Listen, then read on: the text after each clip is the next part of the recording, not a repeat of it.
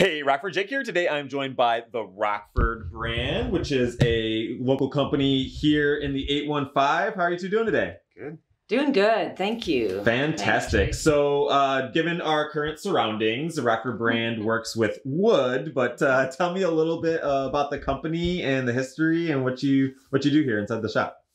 Yeah, well, uh, the Rockford brand really kind of got its start in the deconstruction business. Okay. Um, with my my father, who was working at Youth Build, and he steered the the company towards de- deconstructing Sure. and not putting it in the landfill. Basically, Right. we we knock down a lot of buildings and everything goes in the landfill and there's a lot in there that is reusable and is beautiful so um, we started up working on furniture and custom made installations Okay. um, that really kicked us off is when emily hurd was working on the norwegian Oh, super fun. and yeah. she love loved Emily. the idea of reusing material instead of you know why cut down a new tree right so you're taking like you said the lumber and the material of these you know old buildings in historic Rockford. buildings in Rockford. Yeah, so the wood already is a hundred year old wood when it's built, filled and with then history the building is a hundred years standing. yeah So this is good stuff. It's not gonna rot. right You know, it's solid stuff.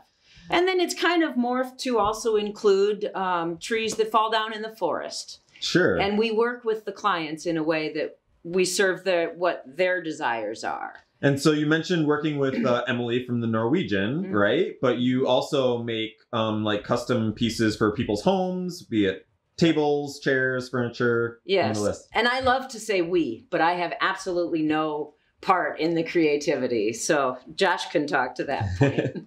Yeah, largely I try to do custom stuff um, because you know I have a limited stock of that old wood, so you know I'd rather not just build stuff for nothing. Um, Right. You know what I mean. Um, and you know we, we're doing other things like this piece, for instance, is going to be a tabletop. oh wow You know, once we smooth it out, yeah probably do glass on top of that. So the idea is that it's recycled. It right came, you know, that we're not buying it, and essentially, you know, we're just trying to harvest it from wherever it's uh, available. And the And that's it. concept that the wood actually kind of presents itself in a form.